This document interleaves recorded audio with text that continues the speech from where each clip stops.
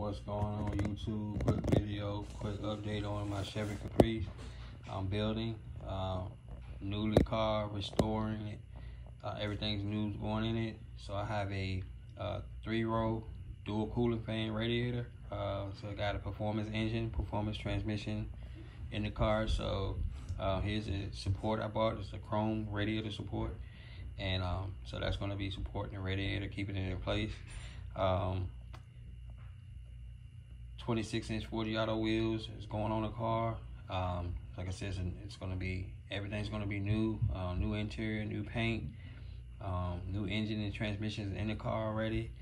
Um, it's going to be a nice build. So I just want to kind of update you guys on the build. It's in motion and um, this is a radiator support here. Um, and like I said, uh, you guys stay tuned, follow the build. If you have not hit the subscribe button, hit that subscribe button for me. And um, please like and share this video. It really helps out my channel.